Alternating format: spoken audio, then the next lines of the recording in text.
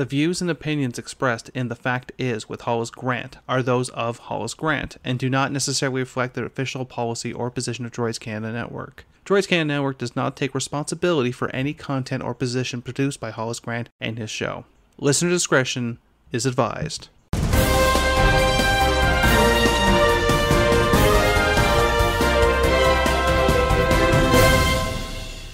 Good morning, good afternoon, and good evening. Thank you for tuning in to another edition of The Fact Is. I'm your host, Hollis Grant. And on today's episode, we're going to be talking about the giant elephant that's in the news cycle, none other than President Donald Trump. Now, it's the end of March, and currently Donald Trump is free. So, if those of you who are listening are yelling and screaming, at whatever device you're listening to this wonderful podcast on, that you can find on the Droids Canada Network, droidscanada.com, or if you're sitting there and cheering because Donald Trump is yet to be arrested, or if you're just wondering what's all the fuss even about anyway. I'm going to take a look at an interesting take on this entire situation, and it's from Vanity Fair. Vanity Fair is very left wing they're going to lean towards all the Democrats, and they're not going to paint a favorable light on the topic.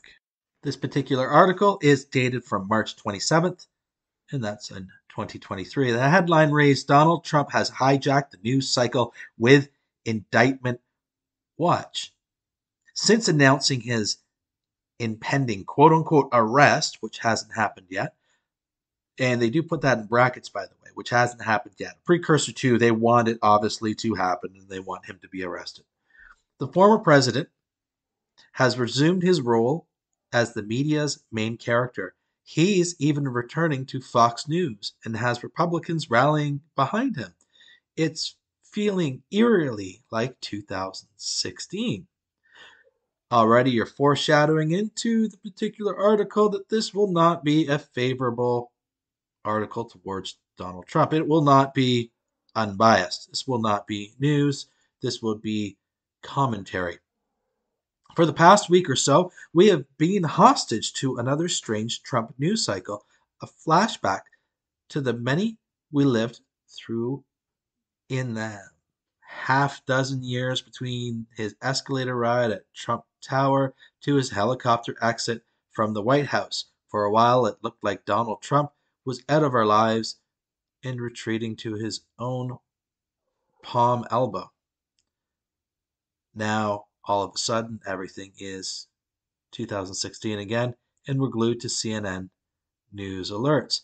Now, it's interesting that this particular writer, Molly Jong-Fast, is referencing, oh, it's all over again. We're all going to be watching these, these news cycles. Oh, look out, look out. I'm going to be glued to CNN. Not glued to any other news outlet, but glued to CNN. So you're only going to get one side, an anti Trump side. You're not going to broaden your horizons and look at other media companies.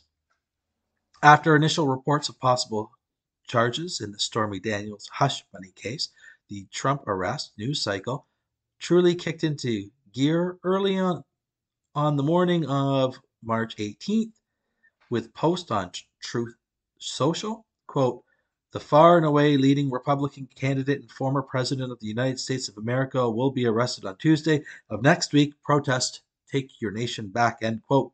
Two hours later, a spokesman said the former president had not written his post with direct knowledge of the timing of any arrest, while adding, quote, President Trump is rightfully highlighting his innocence and the weaponization of our injustice system. End quote. Love him, hate him, whatever your opinion of Donald Trump is, the man can get his name into the news. And that's a good thing. If one thing the man can do is promote himself and promote himself effectively, people are talking about him. That's all that matters. Doesn't matter what they're saying, people are talking about him. Enough so that Molly Jong Fast has to write an article about it and yet really hasn't mentioned anything. Her article is basically how she's watching Trump in the news. But it didn't matter that Trump's spokesman seemed to walk back Trump's truth, as posts on his Truth Social platform are ironically called, or that, quote, Tuesday, March 22nd, came and went with no indictment from the Manhattan DA's office. The grand jury is reportedly meeting again Monday. None of those things mattered as Trump yet again hijacked the news cycle, this time by announcing his impending arrest. As the New Yorker's Susan Glasser wrote of the chaotic moment, quote, the political class's collective capacity for analyzing and digesting events that have not yet occurred, which still might not occur, and those details are presumably crucial to understanding how they will play out, was on full display. Here we get into the central dilemma of covering Trump by virtue of the fact he was president and is currently leading the 2024 Republican pack. Much of what Trump says and does is arguably newsworthy, but Trump is at best a bad actor and at worst a complete sociopath, known to flood the zone with, and I quote, shit. In the immortal words of Steve Bannon, so the idea that we have in the media should take his word for when he makes some wild claims seems at best misguided. And it's funny that they use the term bad actor, bad actor referring to Donald Trump took money or was paid off by the Russians. So on one hand you have Russians paying off Donald Trump and you have the Chinese paying off Joe Biden. But yet Russia and China have both signed a exclusive deal with each other. Russia will be supplying uh, Russian oil to China. Russia will consider trading in the yuan, which is the currency of the Chinese dollar, along with other nations such as India, uh, Latin America, the group that makes up Latin America, Brazil, and Iran and Saudi Arabia will also consider using the yuan and not the American dollar. But yet, if you support Donald Trump, he's paid off by the Russians or support Joe Biden, then you're claiming he's paid off by the Chinese. Of course, all of this is nonsense when you're considering none of it really matters and politicians are selling your country out. And this happens in other countries as well, especially in Canada. Though it would be impossible to ignore a pending indictment of a former president, could the breathless nonstop indictment watch have been avoided? Theoretically, yes. But there is a muscle memory many of us have from covering Trump, a kind of Stockholm syndrome from the constant nonstop flood of news. And it's easy to fall back into old patterns. Exactly. And the reason why that you have Stockholm syndrome there is because people were clicking on this news. You became so obsessed with reading anything to do with Trump and so outraged of anything to do with Trump that you essentially radicalized yourself to become anti-Trump. It didn't matter what he said. He could have done something good. He could have given a, a kid a hundred bucks. He could have signed an autograph, which actually he did, and that didn't actually get any any press coverage. But it was a very touching moment. Stopped and signed a little girl, signed an autograph for her in a hotel room, a lobby. But none of it matters of what good that he did because you're constantly clicking to find the negatives. What dirt did he do? How angry am I going to get myself? One of the reasons that why Twitter is so successful keeps on feeding you content that you want to engage in, which happens to be negative things that you want to keep on engaging in. The best thing to do is whenever you feel yourself getting angry at reading something is put your phone down, put your close your computer, and go outside and go for a walk. Trump, as president, was an assignment editor from hell, driving the news cycle over everything from preposterous ideas like buying Greenland to terrifying ones like bombing North Korea. by virtue of the fact that Trump was president, his tweets, his utterance, and his weird foibles led to countless headlines. Just as Trump was able to reclaim his role as assignment editor, another familiar story emerged Republicans holding themselves hostage to Trump. The GOP, or the Grand Old Party, was presented with yet another opportunity to decouple itself from the albatross that had significantly cost their party in three straight elections. But instead of using a possible indictment as a way to rid themselves of the former guy, Republicans have been literally falling all over each other to defend him, despite not being sure what, if any, charges will be filed. House Speaker Kevin McCarthy warned of politically motivated prosecutions, while Republican defenders hit airwaves.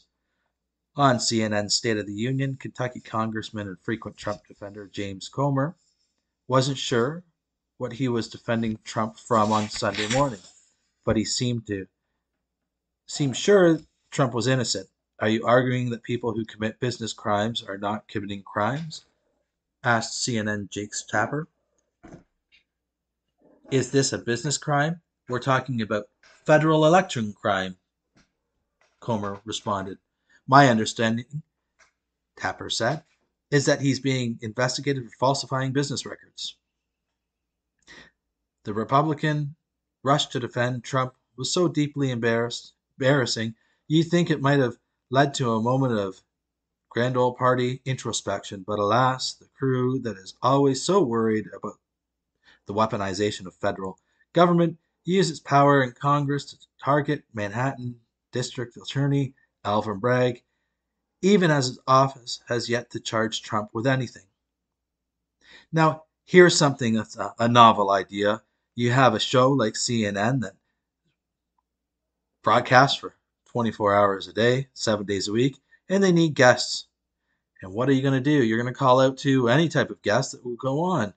And the most narcissistic people in the world happen to be politicians. So, of course, you're going to find people that are just going to jump on TV just to get in front of the nation and get their screen time so they can go back and say to their constituents, vote for me again. Look at me. Look how popular I am. Oh, I was on CNN. They like to interview me. Comer, another Fox News frequenter, frequent flyer, Jim Jordan, wrote to Bragg, You are reportedly about to engage in an unprecedented abuse of persecutorial authority. With Trump fully in the media spotlight and Republicans rallying behind him, even critics acknowledged how the former president could benefit. This indictment is a billion dollar gift in kind from Democrats to Trump's 24 campaign, former Representative Peter Meijer tweeted. Trump reportedly raised 1.5 million in his indictment in just 3 days and has enjoyed a poll bump while Ron DeSantis' recent performance of on the national stage has worried the GOP donors. Never one to let a possible scandal go unexploited, Trump has used the potential indictment as a centerpiece of his Waco, Texas rally on Saturday, telling the crowd, You will be vindicated and proud. The thugs and criminals who are corrupting our justice system will be defeated, discredited, and totally disgraced. At one point, Trump put his hand on his heart during the playing of the of a rendition of the national anthem as sung by the J6 Choir, a group of imprisoned rioters. While behind him, a large screen played footage from the, and I'll use the quote unquote insurrection at the Capitol. The weekend rally also happened to coincide with the 30th anniversary of the government standoff in Waco, where the Doomsday sect, the Branch Davidians, and I'm going to keep on using the quote unquote insurrections. If you are familiar, with the recent security footage that has come out, and they show the gentleman with the bison hat and the face paint, they like to call the QAnon shaman, being escorted and walking around with police officers. Never once did they arrest the man, who was at one point with about at least five different police officers and no one else around him. They could have easily arrested him. There was no insurrection. Trump's stance of being anti anyone who doesn't support him was pretty clear to anyone watching. As I write this, Trump still hasn't been indicted, but he has used the threat of any possible consequences for his actions to once again become the main character of the news cycle. He's even slated to return Monday night to Fox News, a recent target of his ire due to its glowing DeSantis coverage. It seems very likely that Trump can parlay this main character status into another GOP presidential nomination like global warming. Trump is on the horizon again, and it feels like we are powerless to stop it. Well, a simple solution for, for a lot of these people, especially for the author, is to not write about it. It's just not newsworthy if you decide just to not write about it and ignore the story. Much like a lot of stories that go unreported, not cared about. But yet they know, and these particular journalists, quote unquote journalists or opinion writers, know that these articles generate revenue and you make money on outrage.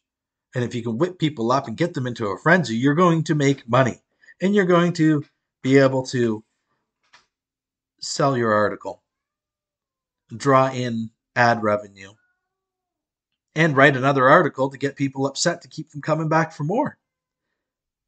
People don't like to be happy or don't want to read news and want to be happy. People don't want to sit down and go, oh, it's yet another article telling me how great everything is. People want to be enraged. And Donald Trump is the perfect enraging weapon, polarizing person. You can hate the man, you can like the man, but you have to understand you have to keep the man and his policies completely separate. And it seems that a lot of these journalists or opinion journalists have a hard time separating the two. Love to know what you think. You feel free to reach out to us on Twitter, on our Facebook, through droidscanada.com. I'd like to thank you for tuning in this week to another edition of The Fact Is. I am your host, Hollis Grant, and from wherever you are listening in, around the world, have yourself a great week. Hi, this is Hollis Grant, host of The Fact Is. You can find us Wednesdays on droidscanada.com, where we discuss current affairs from around the world.